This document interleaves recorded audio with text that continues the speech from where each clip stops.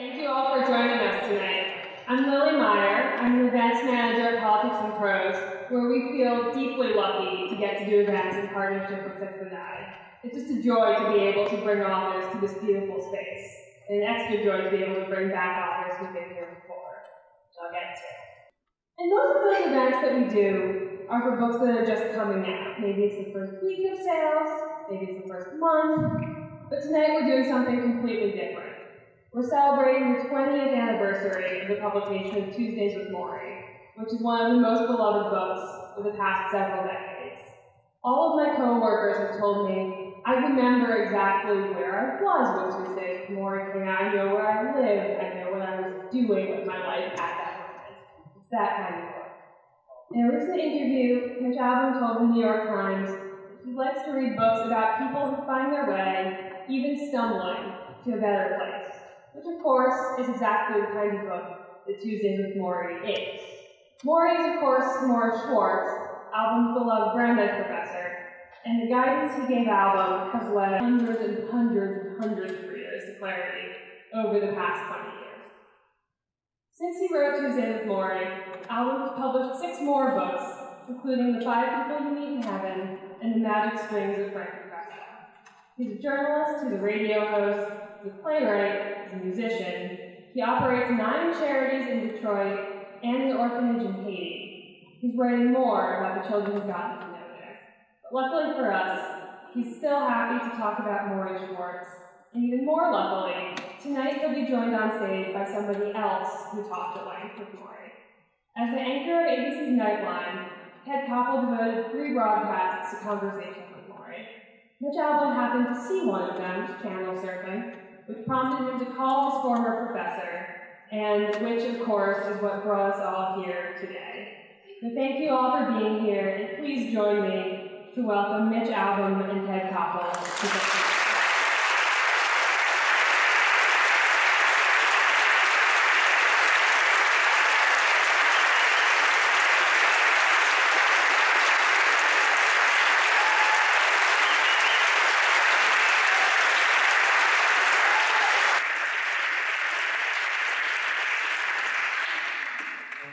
wasted on that. I'm going to give you a little bit more background on how Tuesdays with Morrie came to be. Because it didn't originate with me, and it didn't originate with Mitch. This is one of those times, and, and I'm delighted to say that he is sitting here this, this, this evening. Richard Harris, a dear old friend who was for many years one of the senior producers on Nightline, came to me more than 20 years ago and said, Ted, there's this story in the Boston Globe about this sociology professor. And um, I think it would make a good program. And so we went up to Boston and Morrie Schwartz insisted that he would only do the interview with me if he could first interview me. it was kind of a job interview. And initially, he told Richard, he said, um, I, I don't think I want to do it. I think Koppel is too, what was the word, arrogant? narcissistic. this, I have to tell you, is before the age of Trump. He didn't know what narcissism was.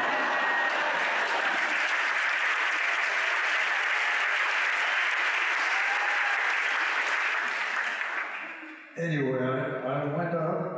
Morrie interviewed me, agreed to do the first interview, and Roland Lynch, who was then the president of ABC News, said, what do you want to do a program about a guy who is dying of ALS? I mean, talk about dying.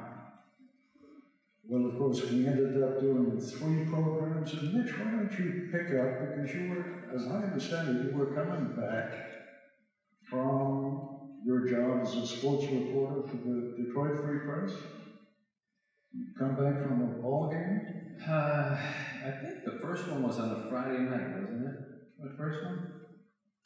I had uh, long since lost touch with Morrie, who had been, uh, you know, for those of you who haven't read the book, uh, been a favorite professor of mine. I had no business losing touch with him. I took every class he offered. I majored in sociology basically because it would have been a shame to waste all the credits that I had with him.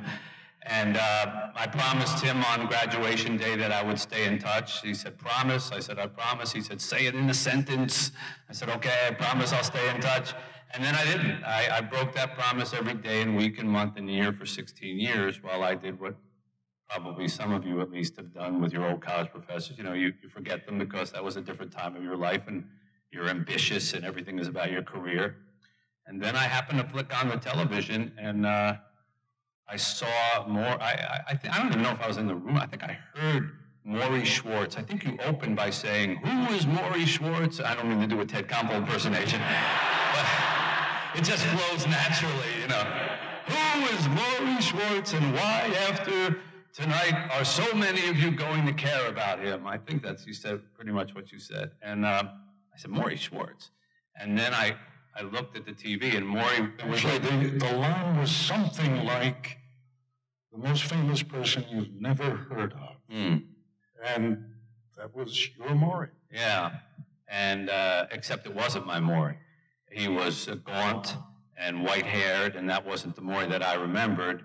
His voice was, and the way he spoke was, and then I realized he's dying. I heard the story, I watched it. And then I went through this whole internal examination of well, what do you do when you've lost touch with somebody like that. And um, one story that did not get into the book, I don't know why, uh, was the first phone call that I actually made to Morrie after I saw him on your show.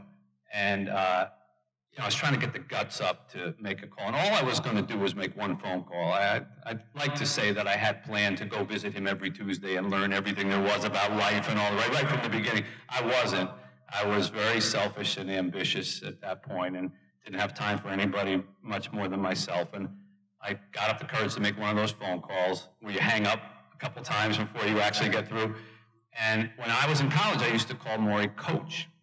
I don't know why. It was a sports affectation or whatever. And when I called him, uh, his nurse gave him the phone, I remember. And I heard him say, hello, you know, with that high pitched voice. And I said, Professor Schwartz, I was really formal. Professor Schwartz, this is Mitch Albom. I was a student of yours in the 70s. I don't know if you remember me.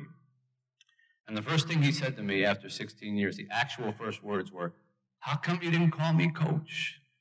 You know, and uh, yeah, I'm needless to say, by the end of the conversation, I was coming to visit him. Guilt is a very powerful motivator.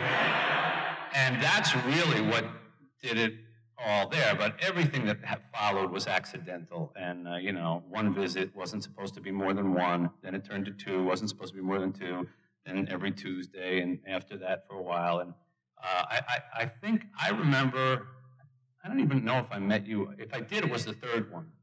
And I remember talking to Morrie at one point about your coming back to do a second and a third one. And I didn't like it, I have to admit. Uh, I said, they're using you.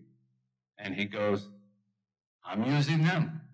And, uh, you know, and, and that was the end of that. I've very, of course, since changed my opinion about that, but, uh, you know, I, I was very protective of Morrie. I didn't have the right to be, but, but um, what you did with those programs can never be measured. And they're, they're seen, and I think, at least for many years, ABC uh, made them available for schools, and they were studied, and they've been around the world and uh, in 90 minutes, you really captured an awful lot of him.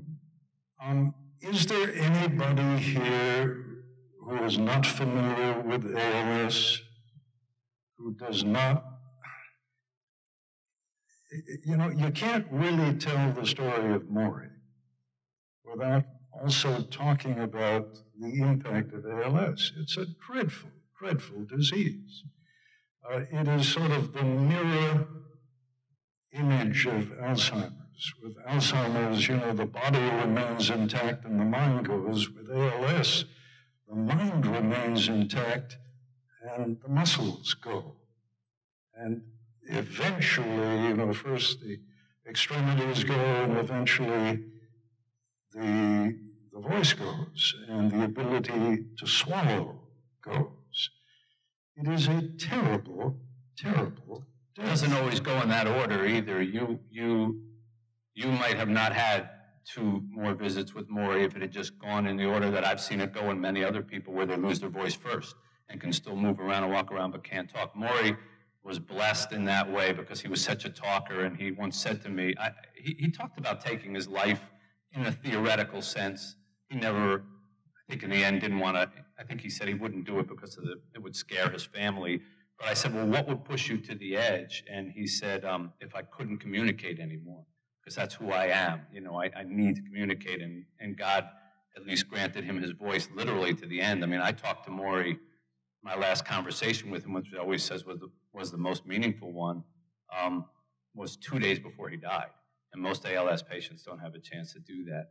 But uh, I'm curious, because Ted and I have become more friendly over the years, um, much more than during that process. I really didn't get to know you very much during that process. In fact, the first time I think I met you so I don't think it was at the house the third time you came, was at the funeral, where you agreed to come and to speak, but only, and I want to give Ted credit for this, only if they wouldn't announce it or make a thing over it, uh, because Ted didn't want to take away from the family and, and, and, the, and the thing. And so nobody knew that Ted was going to say anything.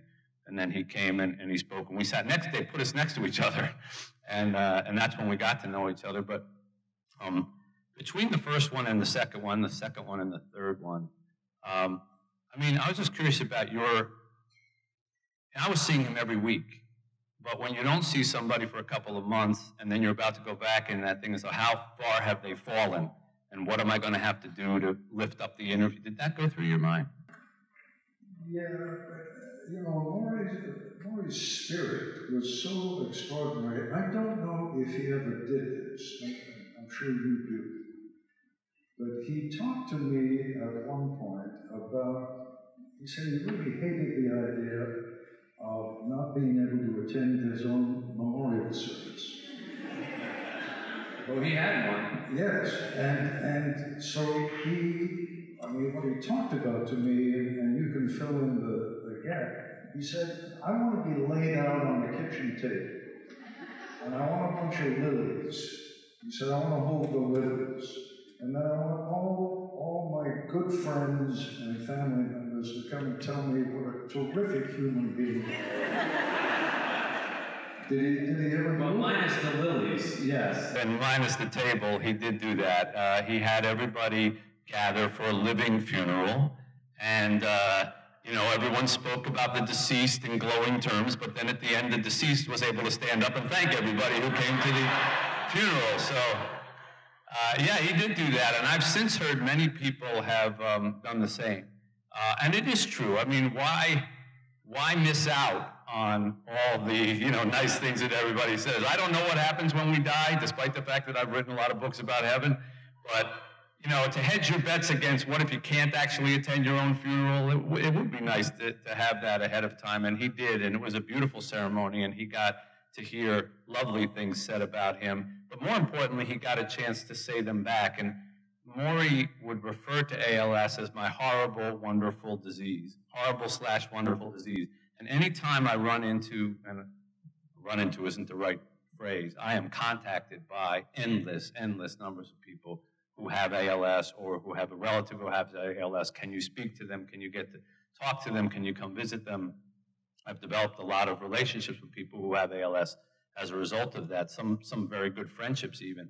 Uh, with uh, there's a guy named Augie Nieto out in the West Coast, who some of you may know. He owned started Life Fitness, those bicycles that you all use in the gyms, at the hotels and uh, health clubs. Well, the guy who invented that, super fitness, super everything, discovered he had ALS when he was 47 years old, and he was water skiing in the Mekong Delta in Vietnam and uh, kept falling off his skis and came back home and they said you have ALS and, and, and, tried to kill himself and all kinds of things. And then since has just taken a different twist and he has dedicated his life to finding a cure for it using business acumen and running he runs this whole organization Augie's Quest like a business. They pay people top dollar the researchers the whole thing and it's all their, their profit is finding the cure for ALS and they've made amazing strides. Uh, and he lives out in California and, and, and he and I have become very good friends um, but uh, when he referred to Morrie as horrible, wonderful, and this is why I, I try to tell newly diagnosed people with ALS, it's about the only positive thing I can say. Horrible because of all the obvious. The, you lose, it snips the connection between your brain and your the rest of your body. So it's a neurological disease, and, and, eventually your brain is just not sending signals to the rest of your body, and this is why your body becomes this husk, essentially. Uh, and, but as Ted said, your mind stays perfectly intact. But the wonderful part is it's gradual. And so instead of getting hit by a truck and, oh, I didn't get a chance, you have the time to say everything you wanted to say, to tell everybody how much you love them, to tell how much everybody the things you want to share with them, to have a living funeral if you want to. And, and in that regard, I thought Morrie was remarkable because he could use the word wonderful with a terminal illness. But uh, talk about what, what really made Morrie unique, which is I suspect that most people with ALS withdraw into their innermost circle and what was so extraordinary about Morrie is that he kept wanting to expand the circle. Yeah. And uh, he, he, he wanted to get the word out. Anybody who's ever been an important part of my life, come and see, come and talk to me. Yeah. Come and come and tell me how much you love me. Yeah. Uh, he, he really wanted to hear that. Well, there were a couple. There were a couple of, I think, milestone moments that led to that for Morrie. One, and I base this obviously on the things that Morrie told me. So one was when he was diagnosed. When he was diagnosed, he was in the doctor's office, and um, he had been going for eight months trying to figure out why he kept falling down and all these things. And finally, the doctor told him, "You have ALS," and you know, he said, "Well, that." I remember Morrie said to the doctor, "That used to be fatal, right? It's not fatal anymore," because he was associating with Lou Gehrig, because he actually remembered Lou Gehrig. And the doctor said, no, it's still fatal. And, and he said, how long I have to left to live? Maybe two years. And Morrie went outside, and it was apparently a very nice day. Uh, and Morrie said that he went outside and he looked around, and the sky was blue, and everything that had been nice when he went into the doctor's office was still nice when he came out. But he was a man living, expecting to live a long life when he went in, and was a man with a two year death sentence when he came out. And he said, I stood on the steps of that building and I, I expected the world to change. I, I couldn't understand why the sky didn't get gray and everybody didn't stop playing frisbee and everybody didn't fall off their bicycles or whatever they were doing in front of him. And um, he said, Don't you all know what just happened to me in there? Isn't the whole world supposed to come and say to me, no more laughter, no more enjoying ourselves. We're all going to be somber now. The world will be somber because you got a death sentence. And he sort of waited for that to happen, and it didn't happen because, as Morrie said, the world cannot cater to one individual. It was the kind of phrase that he and, would use. And when you talk about Morrie losing all of his physical capabilities, describe the Morrie Schwartz you knew when he was your oh. professor. I mean, first of all, he was this elfin, yeah. tiny little man. But, but well, he, he wasn't a leprechaun. yeah. You could see him. You didn't need a magnifying glass to find him, but I, am a little suspicious because I'm rather close to his height. I don't know what you're saying. I mean, you and I are not exactly Dwayne Johnson no, the Rock either. But my wife says we're the hobbits of, of the. Uh, but well, Morrie was. He was he was elfin, but he was also um, very into movement and dance and body movement. And every, he, he would literally dance around, and uh, he would this was in the 70s in Brandeis University, you know, when he was teaching sociology, they'd actually do those trust exercises, you know, where you had to stand and fall backwards and get caught. He would do it with us. He would, you know, close his eyes and make us catch him, you know, which I thought was really, if you didn't get a good grade, you were taking your chances on that as far as a professor is concerned. But um, he would go dancing on Wednesday nights uh, to this church in Harvard Square. Had a thing called Dance Free where you would pay five bucks, and which I also never understood. If it's called dance free, why are you paying five bucks? But he would go in with like a towel, and he would just he wouldn't tell anybody who he was. He'd go by himself, and he would just dance around. He'd do the rumba, the merengue, you know, even though they were playing rock and roll music, and he would still do this kind of stuff. He loved movement, loved it. You know, he would do yoga. He, he, he, so for him to lose use of his body and the ability to hug, even, which was massive to him, that was that was very strong for him. But he decided on those steps. That was the one moment he said, "Well, I have a choice. I can either go south and just be angry the rest of my life, or I'm going to have to find something positive in this deal." And the positive thing that he found was that he had always been a teacher. And so he looked at every subject, especially in sociology, as a teachable subject. And he decided death would be a teachable subject. And it, it appealed to him because he said, well, everybody's going to die. So I'll just go first. And they'll ask me, you know, and I'll, I'll yell back here's what's happening, here's what's happening, here's what's happening as I'm going, you know, and they, uh, I think he likened it to everybody wants to ask me, I'm on the last great journey and everyone wants to know what I'm packing, you know, and that's the way that he phrased it. And so I think he delighted actually as time went on in teaching a subject that was unique to his circumstance. It wasn't book based. He didn't have to cite Erik Erikson or any of the other people and sociologists that he used to love to quote. He, he, he cited himself. And um, I think that's what got him through. If he had not been a teacher, I don't know that would have come so naturally to him. But that's why he did not withdraw. And you're right, many ALS, you know, it would be foolish and wrong to assume that everyone who gets ALS somehow has a Morrie Schwartz moment and then just becomes this soft, wonderful source of knowledge. There are some people who are very bitter about it, right to the end and, and, and really feel gypped. But, um, but I have seen other Morries, maybe not as profound, maybe not as verbose, but I have seen other Morries with ALS where something kicks in and it's like you just let go. Say, okay, I can't worry about my career anymore. There is no career anymore. I can't worry about the house payment. It's going to have to find a way to get taken care of. I can't, I can't. And, and all you can do is relate to human beings as they're in front of you, and in many cases, love them. There is something, Mitch, transcultural about Morrie's story. And uh, this book has been translated into how many different languages? Uh, I mean, just almost 50 languages. Yeah. 50? Yeah, almost 50, 48 and, languages. And what, 20 million copies of the book? Uh, it's about 18 million. 18 million and the movie and the stage production. I mean, just talk about the, the phenomenon of the Morrie story. But I'd like you to bring it back to the transcultural. What is it that makes the story of Morrie Schwartz as accessible to an audience in Japan as it is here in the United States? Well, it's funny you ask me about Japan because uh, when the book came out, it was a bit of a, of um, controversy in Japan because uh, in Japan, it is not common practice to tell an older dying person that they have a, a uh, terminal illness. The proper thing is if you get diagnosed like that at an older age, the doctor just says some equivalent of go home and rest, you know, get, get, you know, get your life taken care of, and it's just understood. But you never speak about it. And when I went to Japan for the first time with Tuesdays with Morrie, I got asked that everywhere I went.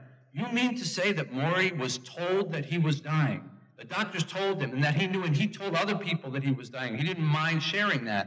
And I said, no, he didn't. And they were, they were riveted by that. So, and yet, it's a huge bestseller in Japan. It's taught in the school systems there. I'm constantly getting requests, can, can we excerpt these lines for school books? from more from Japan than any place else, although also China and, and other odd, odd places. Why was it universally embraced? First of all, it wasn't my writing, and I have never kidded myself about being that, that way.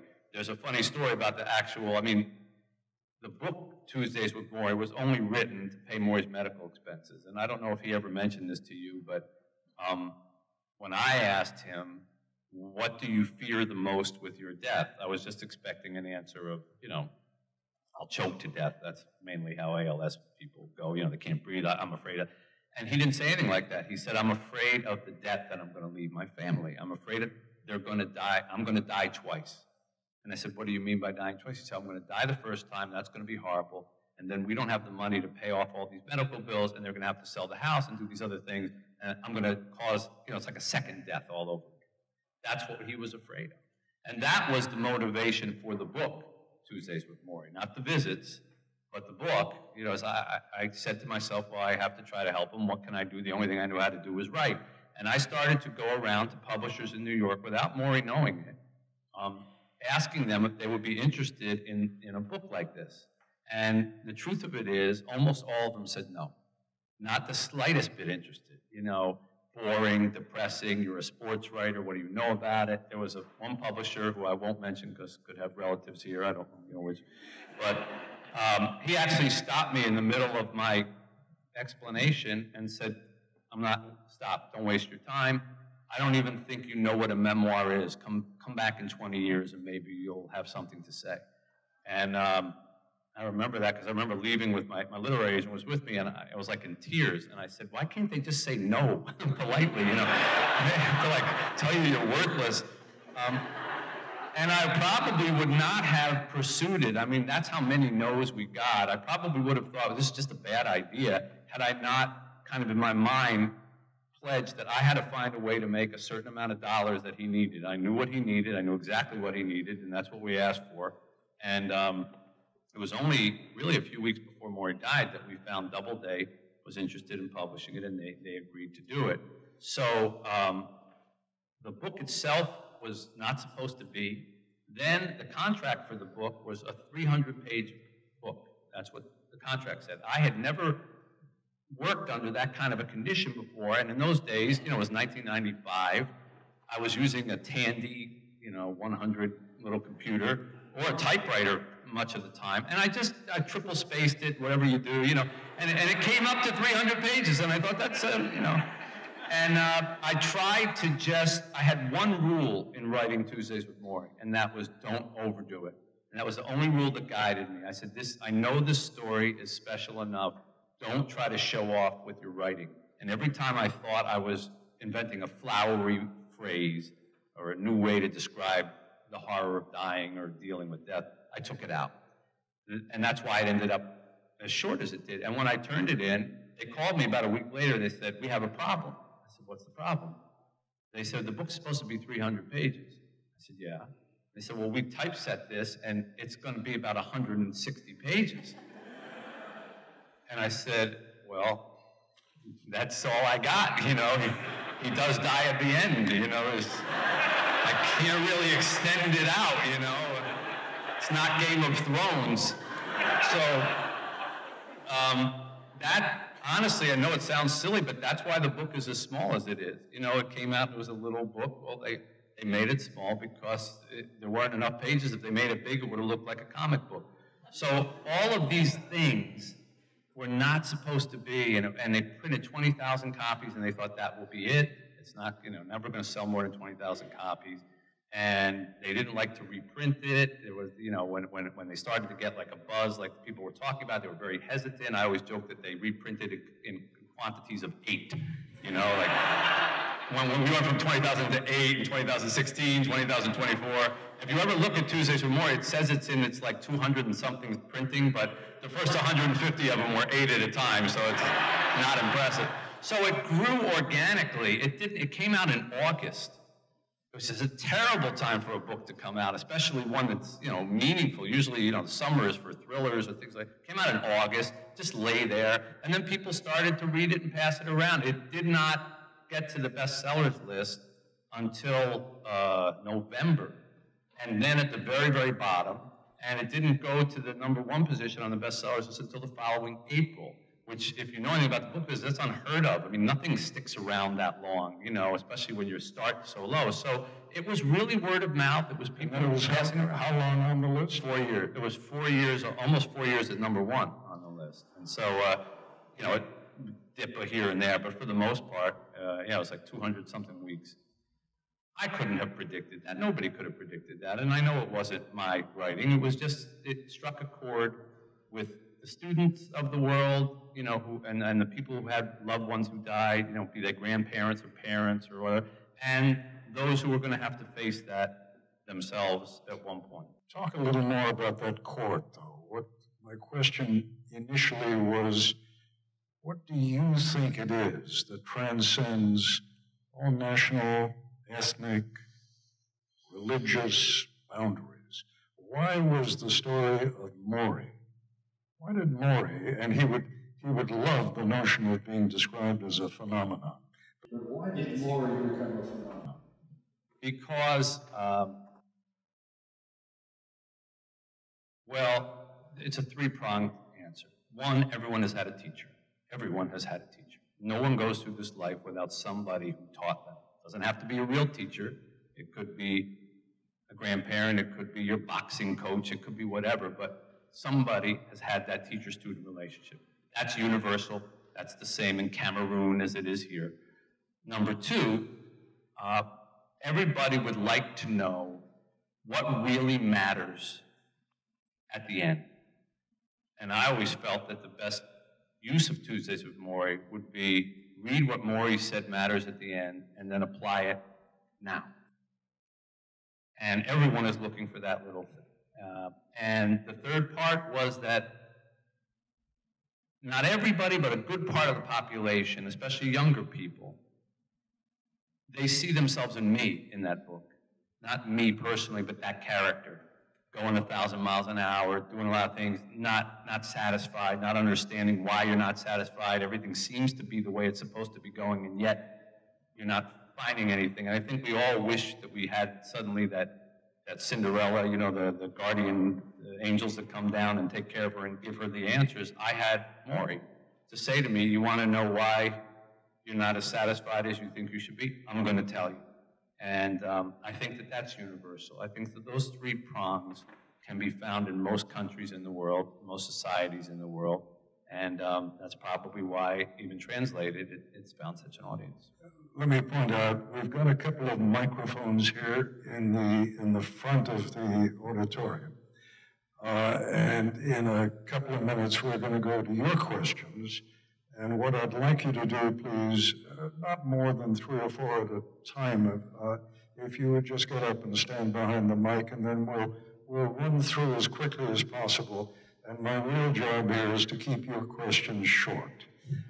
Um, may, may, I ask you a question? And I do that ruthlessly. Yes, go ahead. So I wondered, how did Morrie affect you?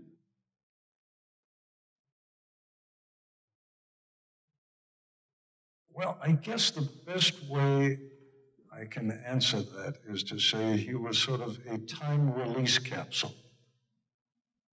Um, and when I when I left Nightline in 2005, um, I decided instead of doing one of these programs where you do the best of, or uh, as a friend of mine likes to describe, books by journalists they all ought to have the same title Famous People Who Have Known Me. so instead of doing that, we ran the Morrie program because there was something universal about Morrie. Uh, and I just felt that uh, if there was a message to be left, uh, then the 25 and a half, 26 years that uh, I was doing Nightline, in, in many respects, it wasn't all the famous people that I interviewed. Uh, it was this, this quirky little guy uh, outside Boston uh, who inspired the affection and admiration of so many people at the least effective time of his life when he was dying. Um, and um, you know, Morrie kind of sticks with you. He clearly has stuck with you in a big way, but he stuck with me uh, for many, many years and, and is still there. Um, let's uh, come on up and start asking questions or making observations, or if you have a story that uh, I'm sure Mitch would love to hear about how Morrie's tale has affected you. Go ahead. Hi, um, my name is Robin Goldstein. Thank you so much for this. Um, I have kind of a two-part question. Sorry, I'll try to keep it short. So obviously you can see I'm very pregnant, and this little guy is coming soon. Could even be as early as this week, if not within the next few weeks. Let hope not, because I'd really like to stay for the end. Um, As would we. um, but very soon, and at the same time, my father is dying, and I actually just found out a little while ago, before I came here tonight, that he was being transferred to hospice care. Um, my parents live in Florida. There's no way that I will be able to get to his funeral, and we expect him to go in the next week or two. So I've known that this is not a surprise. I've known this for a long time. But the timing is obviously far from ideal if there's ever a good time for someone to die. And I'm just wondering, given all of the perspective that you've had over the years about death and dying, how, if you were me, would you rationalize this joyous birth compared to the tragedy of death and that the, my father wants nothing more than to meet his grandson and we know he's not going to if he does it'll be electronically at best Well, first of all, you're giving me too much credit to be able to, I think a rabbi, although we are in a synagogue, right a rabbi would be more in order. Uh, but what struck me as you told your story is that you already have your answer. Uh, they're not different, they're one and the same. The, as Morrie would say, the coming and the going ain't much different than you think. And, uh, you know, the symmetry of life, losing someone and gaining someone almost at the same time is, is pretty apparent and beautiful in its own way. Um, sad, of course, what you're saying, you know, because you want everybody to be together. We all want our families to be together, but if we had that, our great grandparents would all still be here with their great great great grandchildren. Um, so I would, you, know, you know because he told this story on your one of your episodes, and he told it to me, honest to God, every week. And and I would say, Moy, I know how this ends, and he would still tell me anyhow. There are two waves flapping around in the ocean. They're having a great time. They're flapping, they're flipping, and all of a sudden one starts to panic. What's wrong? says one wave. Look, the shore. Yeah. You don't understand. We only got a couple flips left, and then we're going to hit the shore. This is terrible. We're not going to exist anymore. Uh, the wave says, No, you don't understand. You're not a wave. You're part of the ocean. Then Morrie would look at me and say, You get it? Part of the ocean. I said, I got it last week. got it the week before. Got it on Ted's program. Got it every time you told the story. But it is a beautiful story. And, and there is something in there in your particular situation about, you know, everything that your father put in you is in you. And everything that's in you is going to be in your child. So everything that's in you was from your father is in your child. And so one wave breaks, I'm gonna start crying, so I can't really go any further. too late for me now but That's the way I would look at it. Let me add something to that. There, a part of the Yom Kippur liturgy is a, a story that is told of a question. And the question that is raised is if we could have eternal life, no more death, everybody gets to live forever. But the cost of that would be that no more babies are born. Is that a bargain that we would strike? And the answer, of course, is no way. No way. We, we require the rejuvenation of life. And the deal we make is we old geezers have to go, and then the young children take our place. Go ahead, sir. thank you both so much Thank you.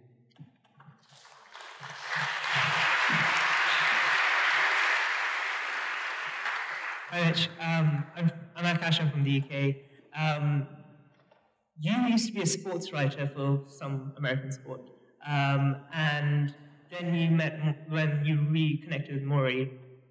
You wrote this book, and now you don't write about sports. You write about life and time and death. I, I guess what was the flip that made you go from sports to sort of sticking with this theme, and what are you learning as you're writing more and more about it? Well, I- still do cover sports. I don't do it anywhere near on, on, on the, on the basis I do for a newspaper where I live. But I, you're right, I don't write sports books anymore. I stopped writing sports books after Tuesdays with Morrie. The simplest way I can put it is this. When I was a sports writer only, people would stop me who would recognize me in airports, you know, from the TV I did or things like that. And they would ask me questions, and the questions would always be, hey, who's going to win the Super Bowl? And I would just keep walking, but I'd say, Patriots, you know, and I'd just keep going. And it was fine. They were happy. Yeah, yeah, that's what I want. And then after Tuesdays with Morrie, people who wouldn't recognize me from television or something would stop me, and they, but they would say, my mother just died from cancer, and the last thing we did was read your book out loud together. Can, can I talk to you about it? And you can't say, Patriots, and just keep going. and so this happened to me. It's not an exaggeration to say a daily basis. Any time I went out, it still does.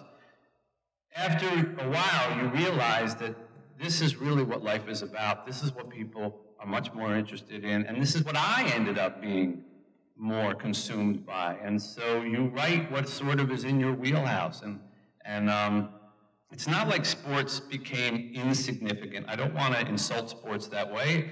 It's a part of life, the same way as business, politics. You know, Ted was joking in the, in the, in the room before saying, why don't we just go out and talk about Trump? I said, really? You know, why, why would that be more important than Morrie? It's not.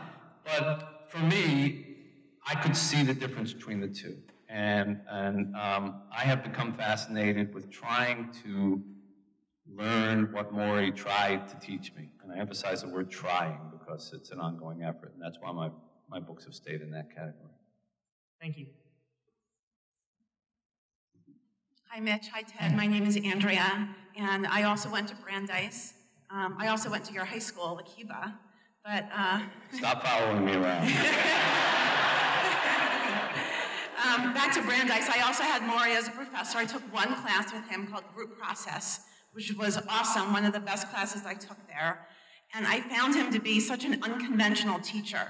Um, and what really stood out for me was he really listened more than he talked. So my question for you is, what was so inspirational to you about Morrie that you can share with this audience as a professor at Brandeis? Um, the very first time I met Morrie, uh, I had signed up for his class ahead of time. You know, when you're a high schooler, you pre-sign up. So I had signed up for some introductory sociology class.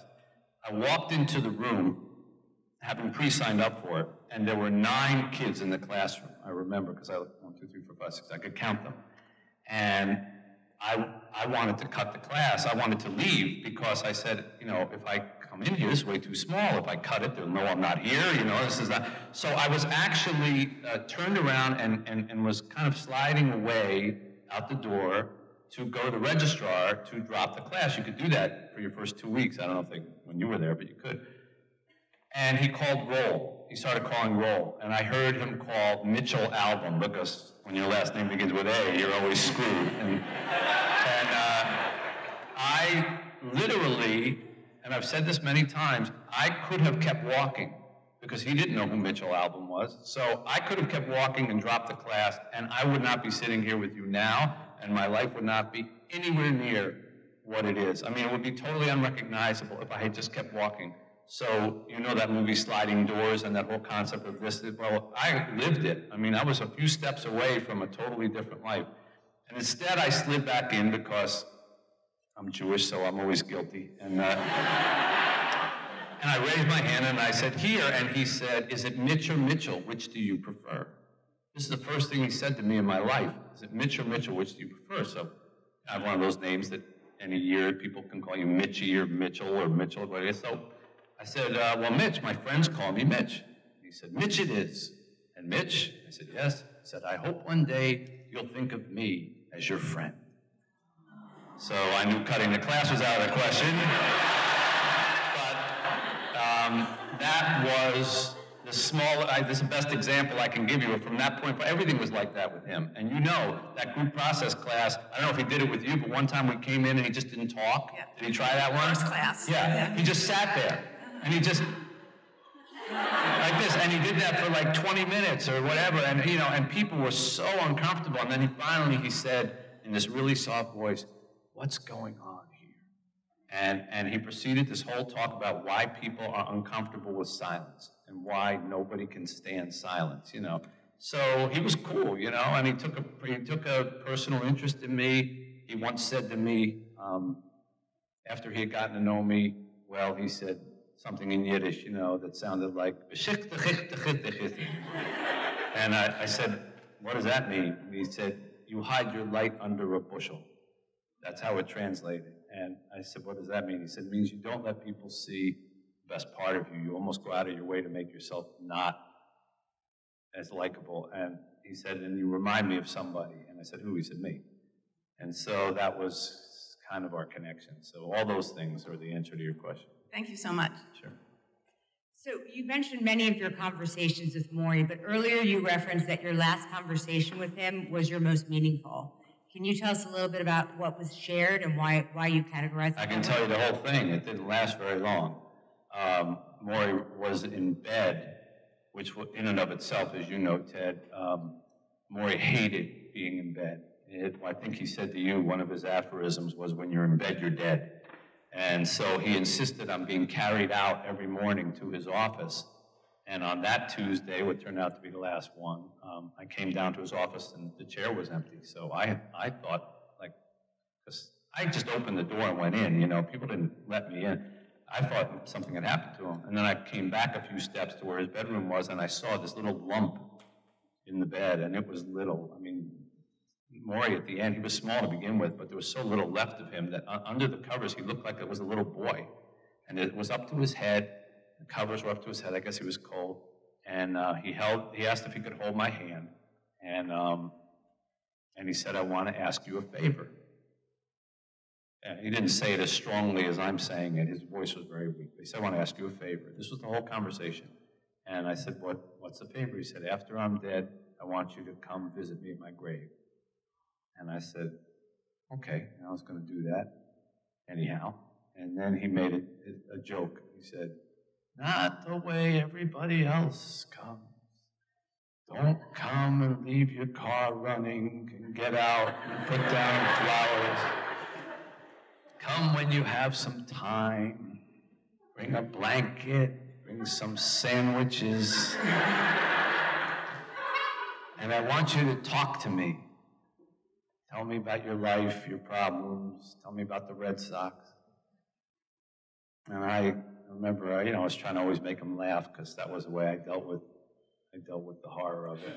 I said, okay, you want me to come to a cemetery, have a picnic at your tombstone, and talk to the air? He said, just like we're talking now. And I said, it won't be like we're talking now because you won't be able to talk back. And basically, the last thing he said to me was, Mitch, I'll make you a deal. After I'm dead, you talk, I'll listen. And that was about it. And, uh, you know, I, I'm sure we said a few things. I, I think I, my last words to him was, I'm going to see you next week, and I expect that you will be in better condition. This is not acceptable, you know, that kind of thing. Um, and he said, okay. But that was the last lesson. It was a very short conversation. And the reason I say that that is the, the most important thing is because that's the essence of the whole thing with Morrie. You talk, I'll listen. You know, I've always said, you, if you lead a life like Morrie did, with people and making memories for people, giving yourself to people, then when you die, you're not really gone. And they can talk to you, not because of ghosts or seances, but because you put your memory inside them and they can hear your voice. You know, so when you say things, oh, if mom were here, she'd say this about that water. You know, if dad were here and he saw you with an iPad, you know, well, why, why do you think you know what he would say or she would say? Because they spent time putting their voice inside. But if you don't take that time, if you're always too busy and you're always on the run and you don't make those memories, and when you're gone, you're really dead. You're really gone. And so uh, that was the essence of the whole thing. That's how death ends a life, but not a relationship. You've got to have that relationship while you're here.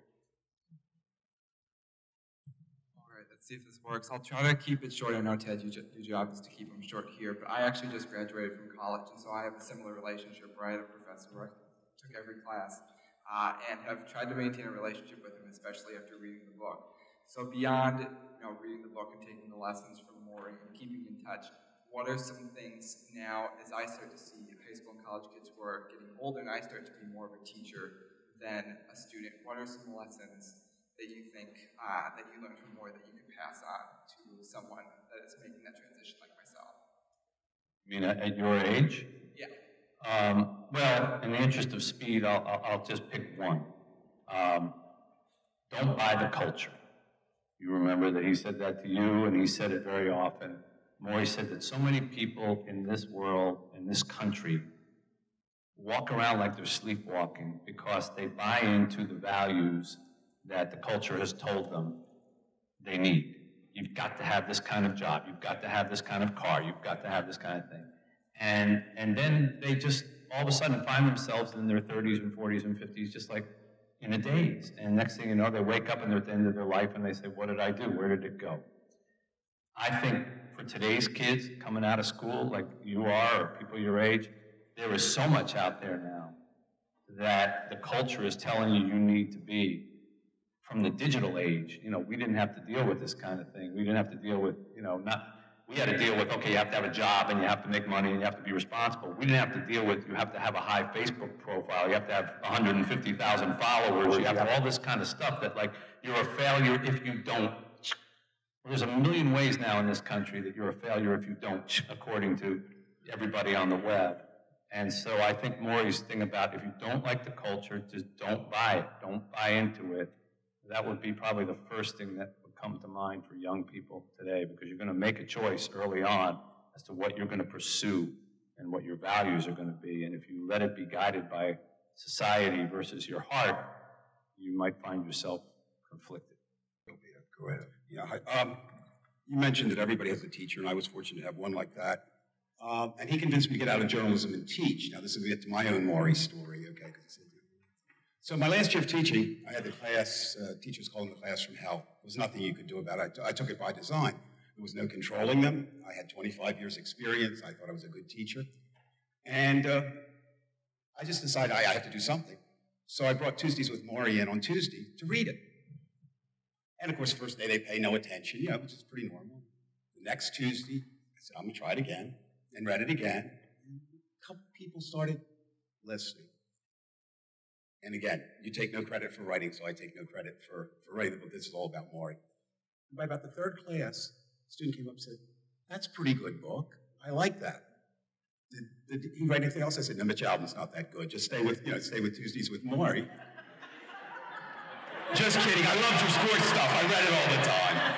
Then you come along, and by about the fifth class, people now are starting to hit the other people. Say, be quiet, listen to this.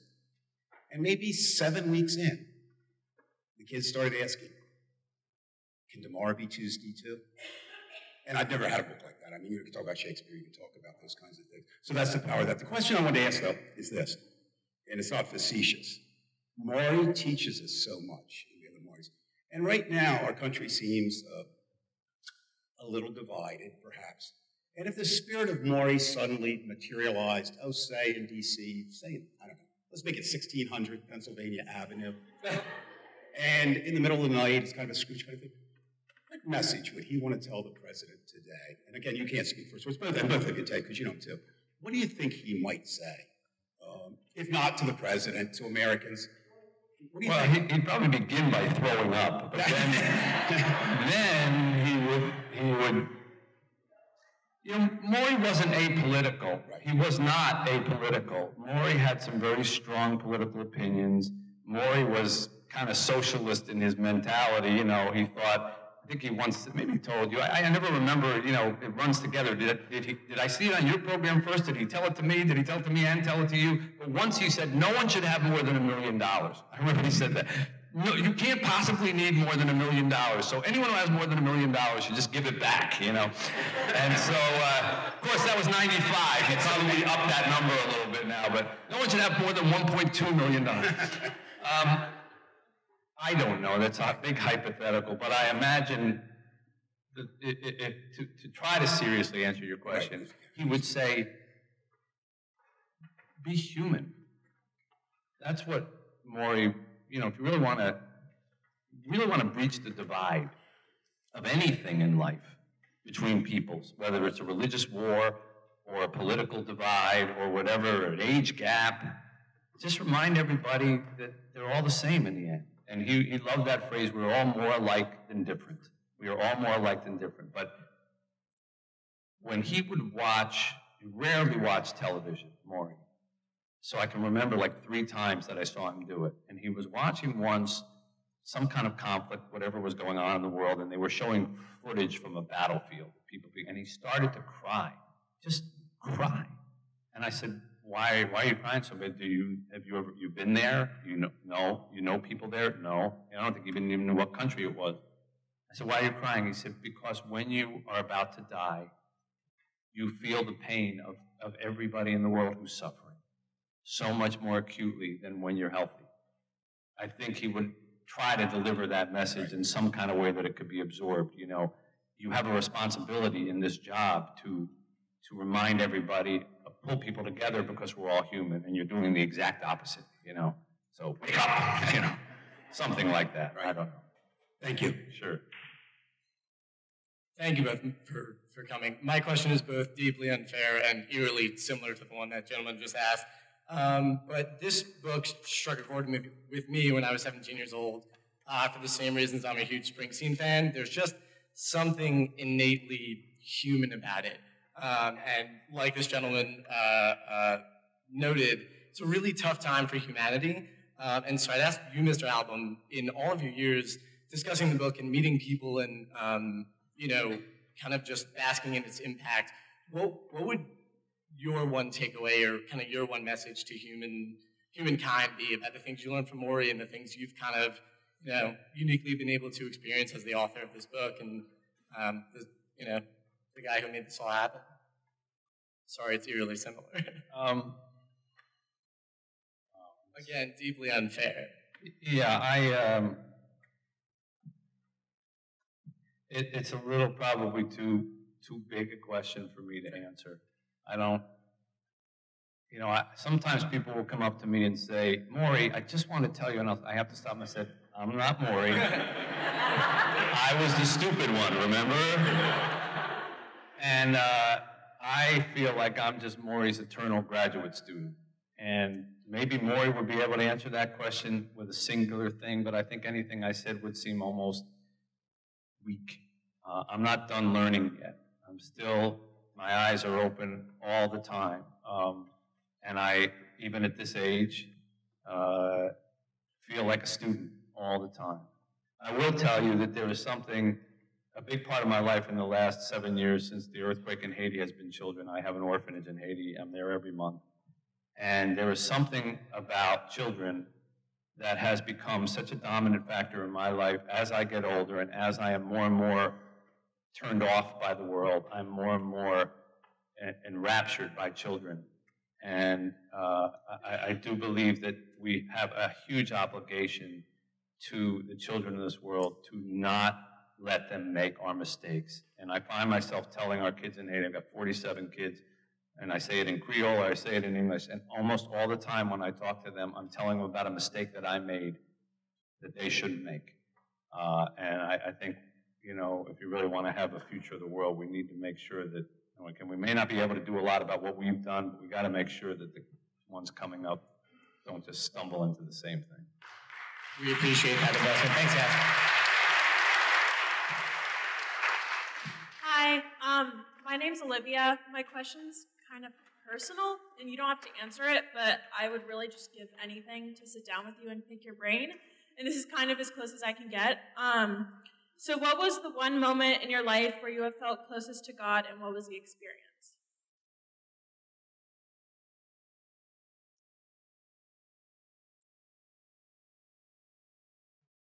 And remember, God is listening.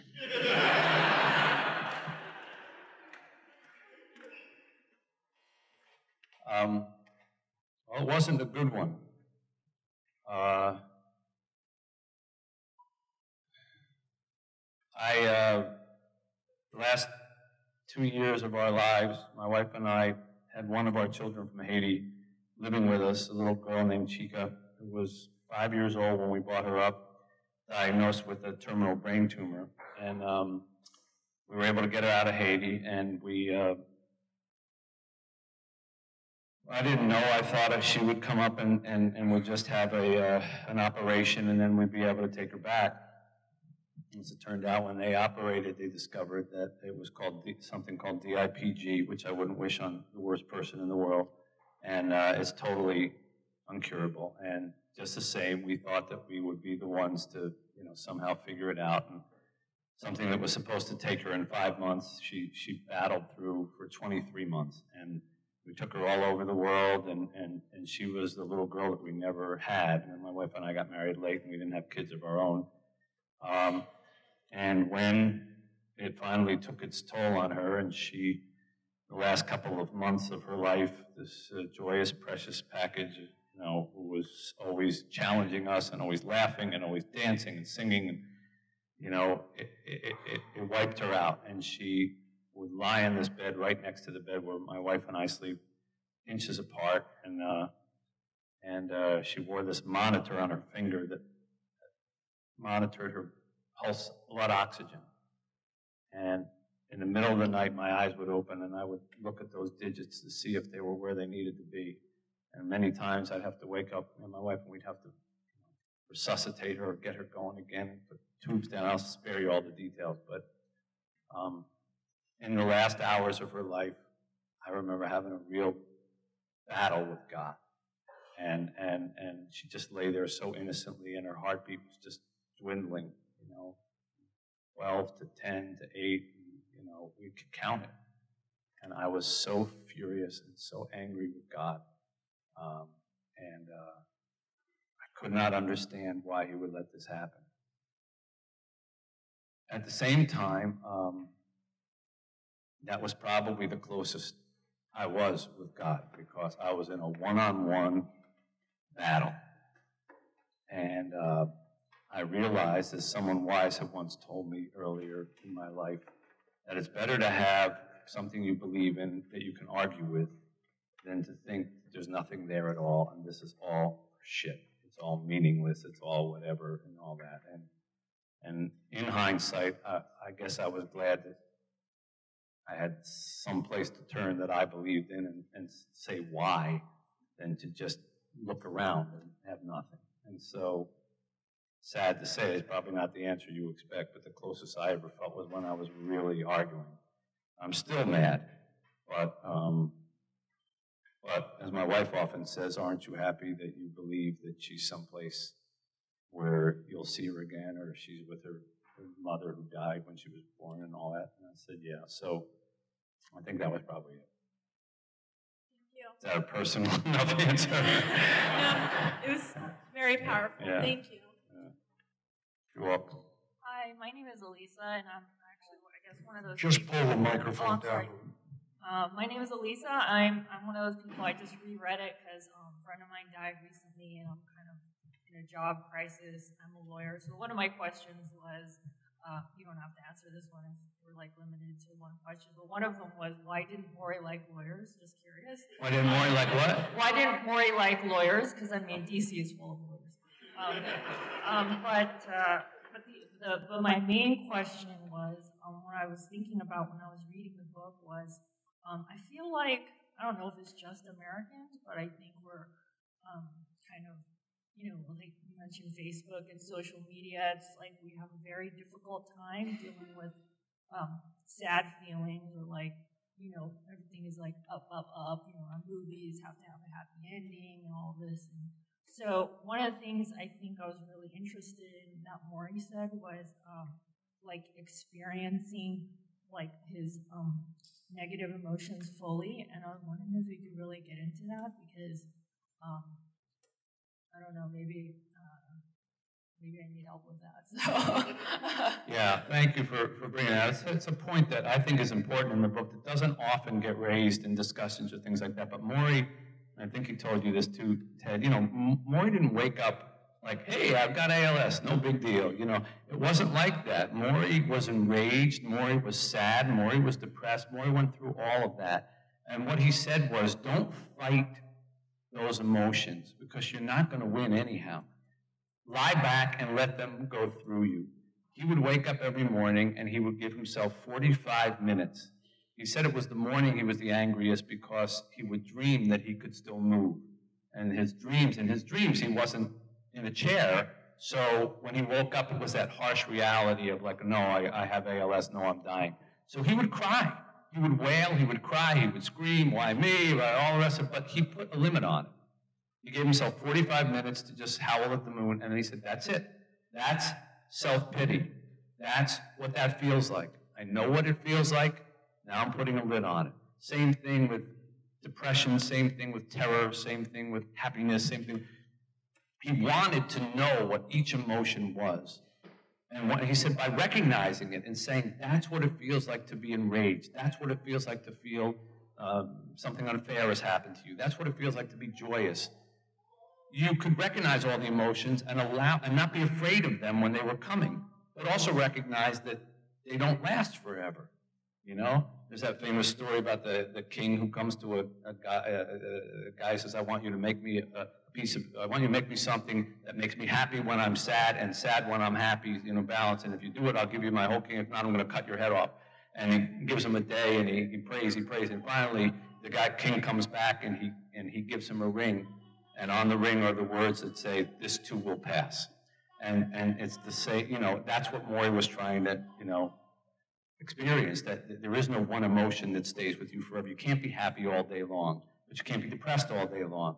And um, allow yourself to experience all of those emotions, and you'll be able to take them for what they're worth. I just wanted to say also after reading your book, I think one of the things I was kind of motivated to do is write a memoir about my mother because she's getting older and I think it would be nice. So thank you for that. Good luck. They can't treat you any worse than they did me when I first went out. but later I'll tell you which publisher to avoid because. yes, sir. Hey, how you doing, Nick? Um, I'd be remiss if I didn't acknowledge Mr. Koppel. I've uh, fell asleep. I, I, grew up in many small apartments, and we fell asleep. My dad watched you religiously, so I fell asleep to your voice. You have no idea how many times. So is that how you have no idea how many people fell asleep to my voice? It's actually a compliment, believe it or not. You're one of the reasons that I, I read the news and, and to segue into uh, Mr. Albom, and then every Sunday morning watching the sports reporters. I grew up playing sports, still watch sports. Well, one night, uh, a movie came on, TV movie called The Five People You Mean Heaven. You might know it. and uh, and it just, you know, you catch a movie in the middle of it, and I start watching, and I'm like, and I was at a point in my life where uh, I went to many funerals. My my dad was older. I lost my father, and lost many people. I went. I, I always said I went to more funerals than I went to weddings. I watched, and I watched, and then I read the book. I had no idea it was you. And I, I, I used to read your, your sports reporting. I used, used to read the Detroit Free Press. I was a Tigers fan. And then all of a sudden, I, I get the book. It's Mitch Albom. And then further on, I read One More Day. This is after, after I lost my father. And uh, I got I got to acknowledge that that was one of the things that helped me get through it. So thank you for that. My question is one of the things you wrote at the beginning of the book is like life's greatest lesson. Since we don't have sports reporters no more, and great show, uh, in the form of a parting shot, could you tell me what life's greatest lesson is? I was told there would be no math on the exam.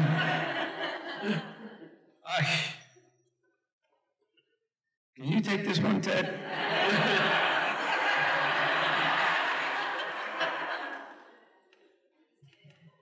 um,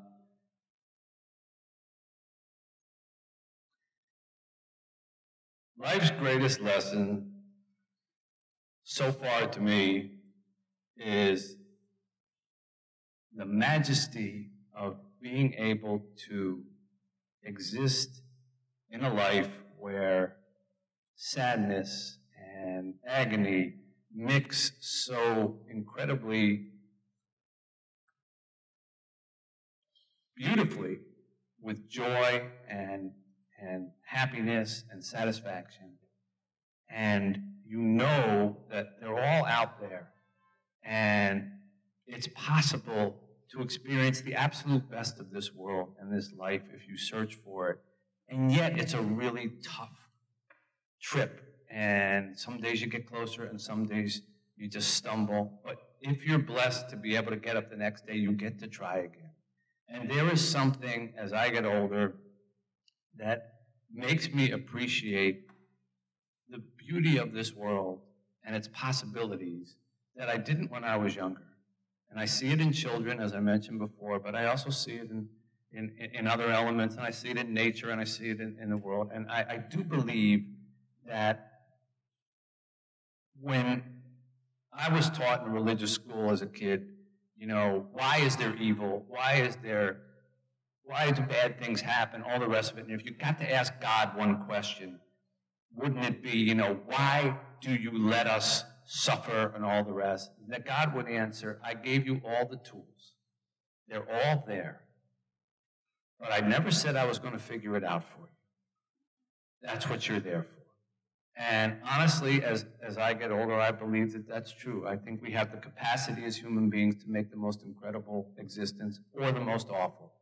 And life and the meaning of it is the choices that you make along the way that lead you to one or the other. Did I finish in 60 seconds? that was perfect. Can I just say one thing before you ask your last question? Because Ted's very efficient and he may wrap up right after you do. Um, I feel very awkward talking as much as I have here in the presence of this gentleman.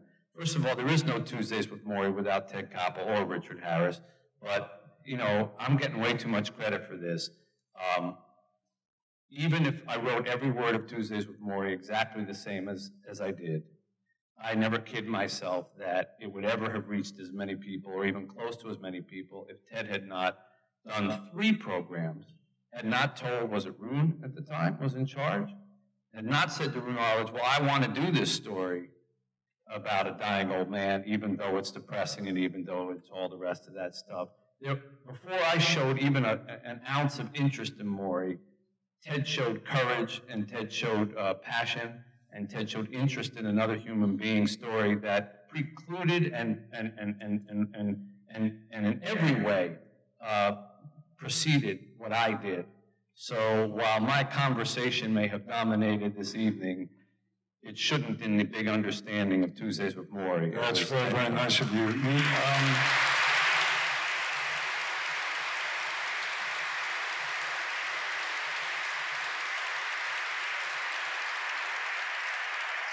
I, I don't think you realize what an enormous responsibility you have. This, this better be a really, really good Uh, well, firstly, um, my is Daniel. I'm uh, from Australia, and uh, on behalf of everyone here, um, a huge heartfelt thanks uh, for tonight because you know the words are often loosely used, but I truly regard it as a great honour uh, to be here this evening, um, uh, listening to you.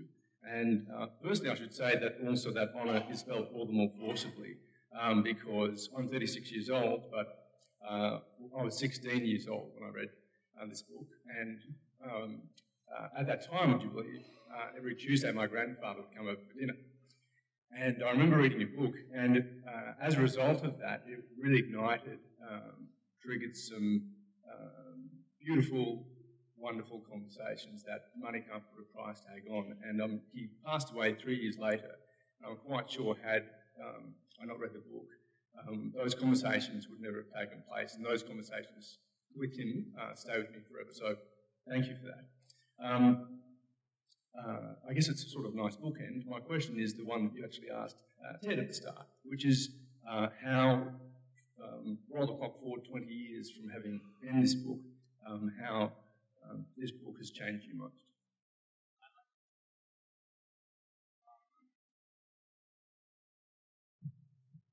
Well, the short answer is every way possible. Um, I sometimes think of the sliding door version of what if I didn't uh, turn on the television set that night? What if I didn't make that phone call? What if I ended it by saying, well, Morrie, good luck. Um, I'm sorry about the news, and never went to visit him. Um, on such small things, you know, your life can turn. A, a decision to make a trip, a decision to make a phone call, and then everything changes. Everything changes. So the entirety of my existence from age 37 to where I am now, 59, is, is largely as a result of, of seeing Morrie, uh, and then ultimately writing the book about it. First book I ever wrote that wasn't for my own profit and wasn't for my own, you know, advancement and, and, and was supposed to be something that I remember asking my literary agent, because it was so opposite of what I was known for, do you think this is going to hurt my sports writing career? I actually asked him that. And he said, what do you mean? And I said, um, what if I go into locker rooms now and people say, oh yeah, I read that stupid book you wrote where you cried at the end, you're a little baby, you know. Uh, I had Mike Ditka in mind for some reason. and uh, I remember my literary agent said, I wouldn't worry about it, nobody's going to read it. And, uh, you know, from that approach to sitting here in this beautiful building with a man as prestigious as Ted and, and, and hearing all these questions, it's, stunning. So from a overall, just experiential point of view, my life has been flipped on its end as a result. But more importantly, on a personal level, for me, it made me think. It made me stop and it made me think. I would be misrepresenting myself and being far too haughty if I said, oh, I now know the secret of life. I don't. I would be misrepresenting myself if I said, I'm now as smart as Morrie. I'm not. I don't know that I ever will be. Um, but what Morrie did is what I think all really good teachers do. He got me to start asking questions. And to this day, 22 years later from when I started encountering him, I have even more questions than I did before. And I seek to be a better person. And I say a little prayer in the morning, every morning. It's not long and it's not big religious. It's just, you know, a little quick conversation.